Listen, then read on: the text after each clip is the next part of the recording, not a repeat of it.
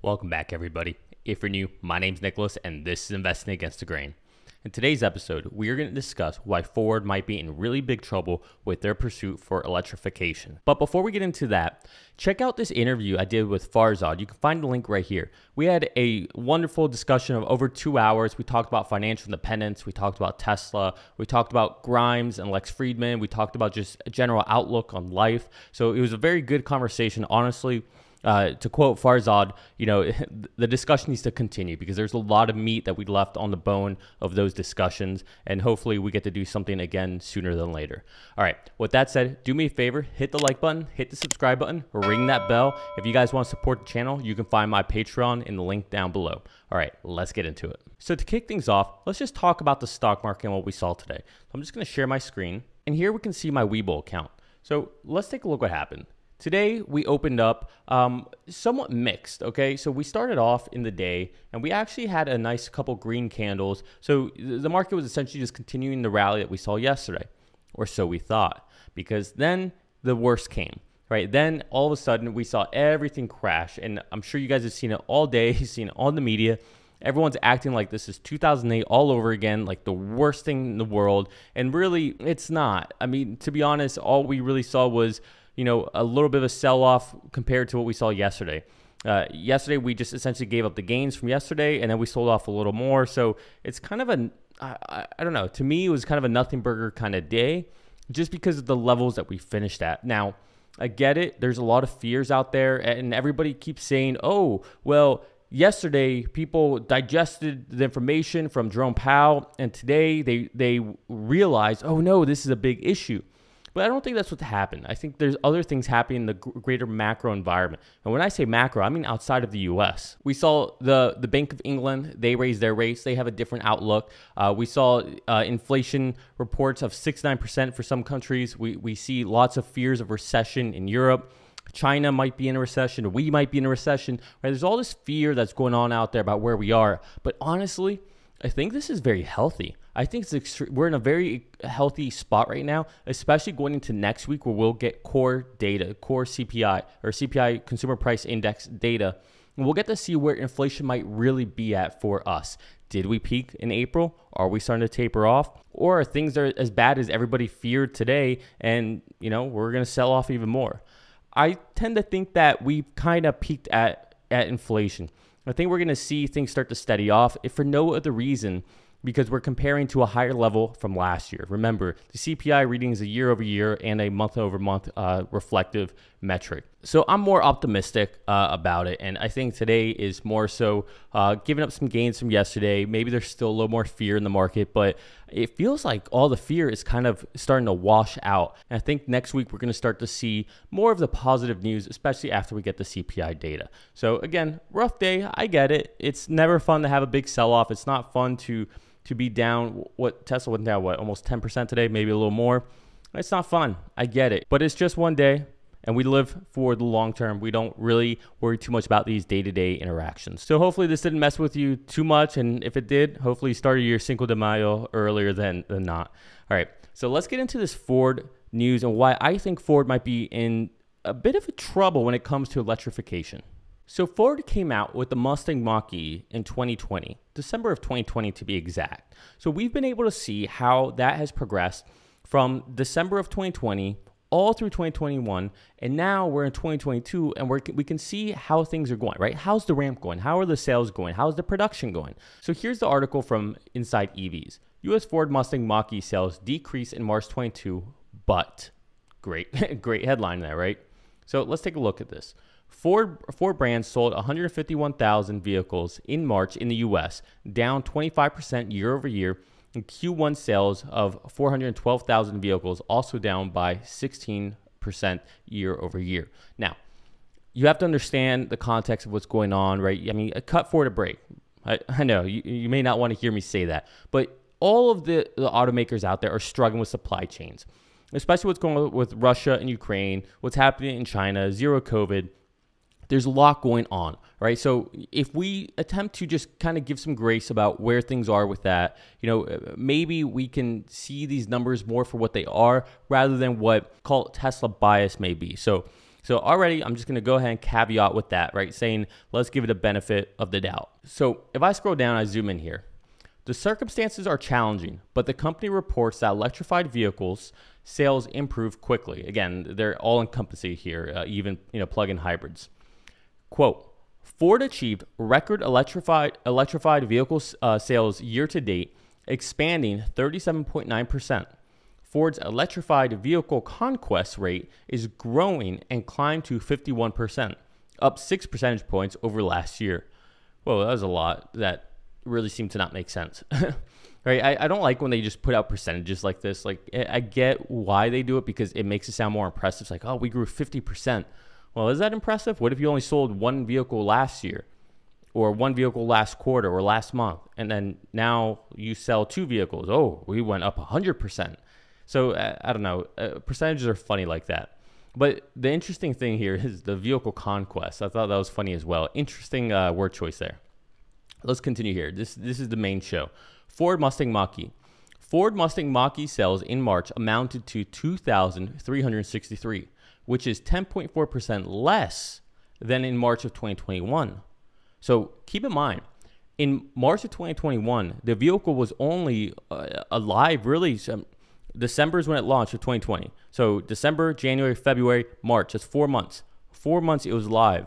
It's the inception of this vehicle and somehow in a year later it's down 10% compared to what it was then okay but again take a step back maybe maybe this really does have to do with the supply chains russia ukraine china as i've been saying. So so uh, you know let's not rule out the potential headwinds that were involved in this. That's nearly 1.6% of the total volume. On one hand it's not good news that sales decrease but at least the rate dec- uh, so this was this is a tongue twister but at least the rate of decline decrease. So this implies that this isn't the first decline that we've had. So we'll look at a chart in a second and explain that even further.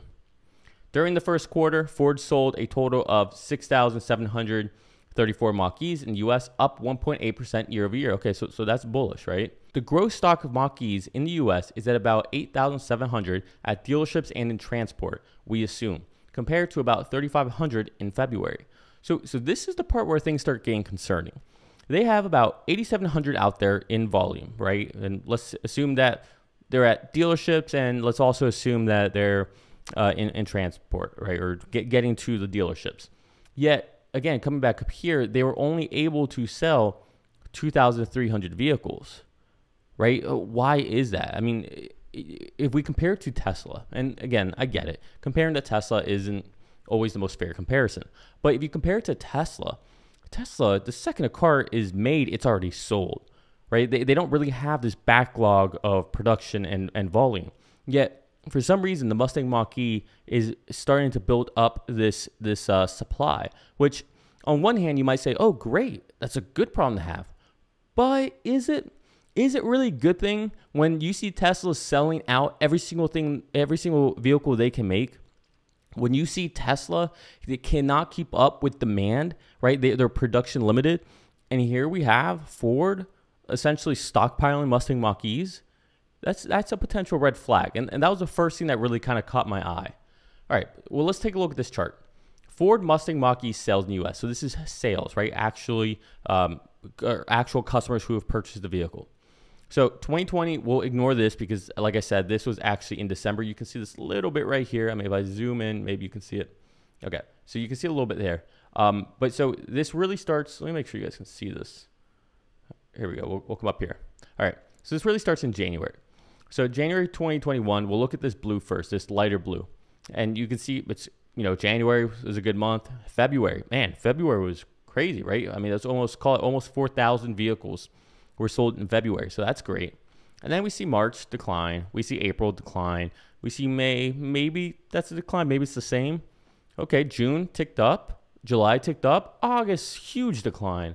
September, a little recovery. Okay, October looked good. Oh, November looked good. All right, we're getting back on track. then December, ooh, that's a decline again. That's not great.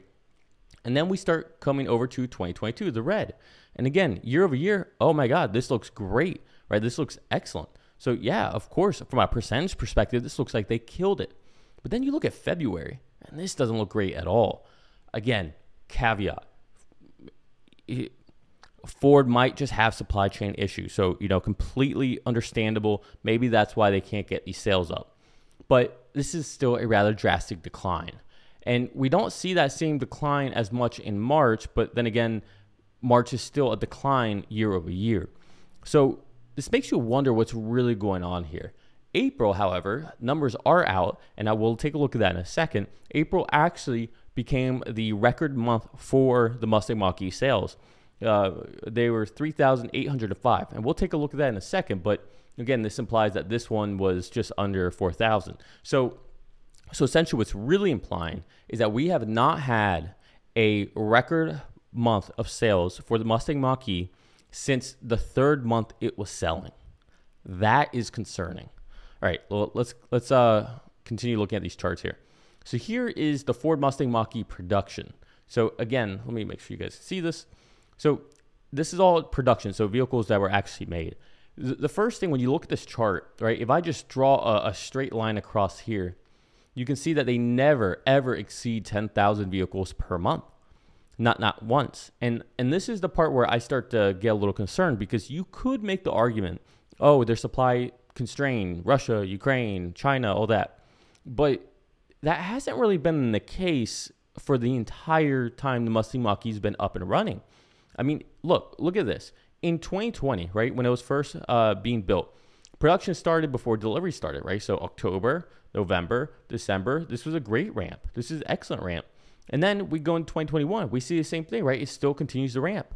And then February, we see it tick down. Okay, then we see March tick back up. But then we see April tick back down.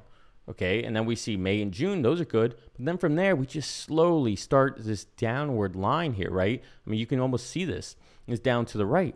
Now, I don't know what's happening here. I don't know if this is I, I almost feel like they're doing this intentionally, not wanting to ramp these up because they might be losing money on every vehicle they sell.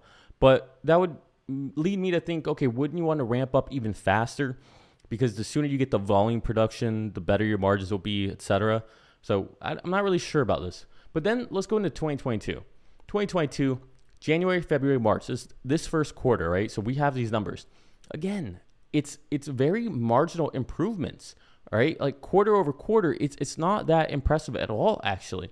And this again just makes me think that maybe they don't really care about ramping this up. Maybe they don't care about selling EVs. And so the bigger concern here is that if Ford has these ambitions to go all electric, and this is their first vehicle that they're really selling, I mean, you can you can look at the transit vehicle, the van, but uh, you know, I, I, exclude that because I don't really think that's doing much. That's not going to be a game changer. You're not going to see that in mass volume production. But the Ford Mustang Mach E competes against the likes of a Model Y, and so when you see the Model Y, uh, essentially about to become the most popular, best-selling vehicle in the world, and that's what the Mustang Mach E is competing against, and they can barely produce vehicles. I mean, Tesla essentially does in one month out of China what Ford does in an entire year just for production. Tesla does that in sales almost, right? So these numbers are kind of nutty in a not so good way. But take a look at this as well. Here we see a, a tweet from Mike from Cyber Owners, and he said something stood out when I read this. April was record month for Mach E sales, but they only sold less than half of what was in stock. Dealerships had 8,700 inventory, but only sold uh, 3,805. Can you imagine if Tesla only sold half of their inventory or even had an, any unsold inventory? That's a very good point. But so let's let's analyze this and break this down. Ford Mustang Mach-E sales in April reached a new all-time monthly record of 3,805, which is 95% more than a year ago. Uh, again, that's right. Like it's so okay. So you're bragging off of what 1,500, 1,700 vehicles. That's that's a very minimal flex, you know, about bragging rights here. But what's more notable, so far this year, Ford delivered 10,539 Mach-E's in the US, up 23%. Ford notes that the that the electric Mustang remains the second best-selling battery electric vehicle in the crossover SUV segment in the US after the Tesla Model Y. I mean, is there really another one? Again, I, I think this is very very weird. But what's more, but what's crazier is that in the first, for, so this includes April. So so this is the first quarter plus April. They're at 10,539 vehicles. That's not indicative of a company that's trying to really transition into electric vehicles. This is indicative of a company that is trying to have a Me Too product and say that they're doing these things and say they're paying attention to this, but they're not really interested in it because they know they make so much more money in this other segment. And I think the same thing is going to happen with the Lightning. I know maybe people don't agree with me here. Maybe people think that Ford is serious about the electric truck, about getting there, but I think Ford is more interested in being the first one out with a, a full size pickup or traditional pickup. Right? It, it, seems like oh GM came out with the Hummer, well Ford needs to come out with something, and so they essentially just took the cab of an F-150, slapped it onto a a battery electric uh, uh, powertrain, and they're calling that good in order to keep up with GM and to be able to get out there before the Cybertruck. Right? Hence all the the jokes by Jim Farley about the Cybertruck. But to me, this is real cause for concern right? It, here it also says the gross stock of Mach-E's in the U.S. is estimated at 7,000 at dealerships and in transport, we assume, compared to about 8,700 in the previous month.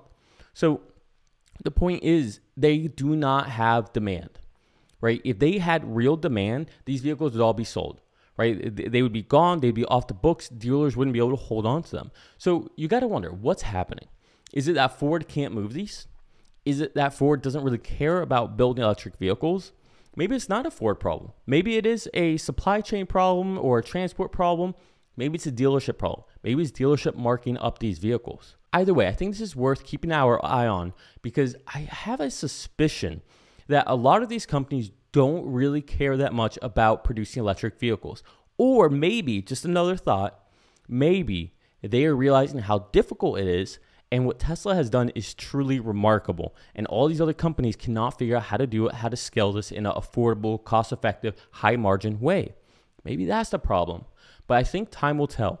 And I think the launch of the F 150 Lightning will give us great insight into all of this. And I, I already think we can see that with GM and the Hummer EV and how abysmal those cells are. But then again, that's a conversation for another time.